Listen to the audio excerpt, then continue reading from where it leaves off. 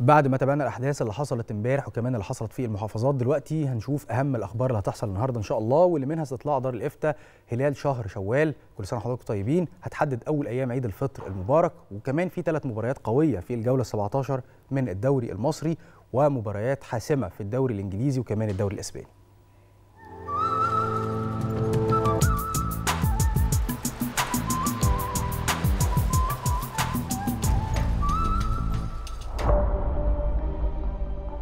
بالنسبة للأخبار اللي هتحصل النهاردة هتستطلع دار الإفتاء المصرية برئاسة الدكتور شوقي علام مفتي الجمهورية هلال شهر شوال لسنة 1443 هجرية مع تحديد أول أيام عيد الفطر المبارك وإعلان نتيجة الرؤية من خلال الصفحة الرسمية للدار على موقع التواصل الاجتماعي فيسبوك بعد المغرب بنص ساعة. وأكدت دار الإفتاء المصرية إنها المسؤولة عن إعلان نتيجة رؤية الهلال وحذرت على صفحتها الرسمية على فيسبوك وقالت لا تلتفتوا إلى الأخبار التي تنشر قبل موعد الرؤية. ودائما استقوا المعلومات من مصادرها النهارده هيكون ميعادنا مع مباريات من العيار الثقيل في إطار الجولة 17 من منافسات بطولة الدوري المصري الممتاز. فريق سيراميكا كيلوباترا هيواجه فريق النادي الأهلي، والاتحاد السكندري هيواجه غزل المحلة، والإسماعيلي قدام طلائع الجيش، والثلاث مباريات هيتلعبوا في ميعاد واحد الساعة 9:30 بالليل.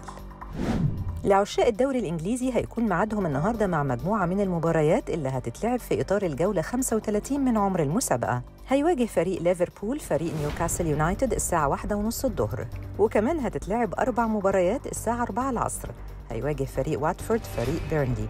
وساوثهامبتون قدام كريستال بالاس. وأستون فيلا مع نوريتش. وولفرهامبتون مع برايتون. وفي آخر اليوم هيواجه فريق مانشستر سيتي فريق ليدز يونايتد الساعة 6:30 بالليل.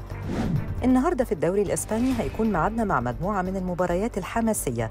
فريق ألافيس هيواجه فريق فياريال الساعة 2 الظهر، وريال مدريد مع إسبانيول الساعة 4 وربع العصر، وفالنسيا مع ليفانتي الساعة 6:30 وأتلتيك بلباو مع أتلتيكو مدريد الساعة 9 بالليل.